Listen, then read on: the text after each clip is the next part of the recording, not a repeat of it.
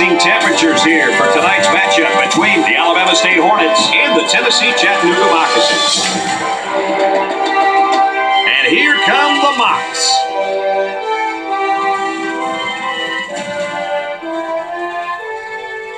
Hi, and welcome everyone to another great college football game brought to you by the fine folks at EA Sports. I'm Brad Nessler with Lee Corso and Kirk Herbstreit. The Mocs may be overmatched and could have an ugly game on their hands. Any thoughts, Kirk? Oh, there's no question about it. This one's going to be pretty ugly. Alabama State has so many weapons offensively, but it all starts with their outstanding quarterback. Now, against this defense, I look for him to have no problem spreading the ball around. This could be a career day. Forget about it. Alabama State is going to come in here and pound the ball right at this defense. And when they're done with that, Kirk, they're going to pound them and pound them and pound them even more.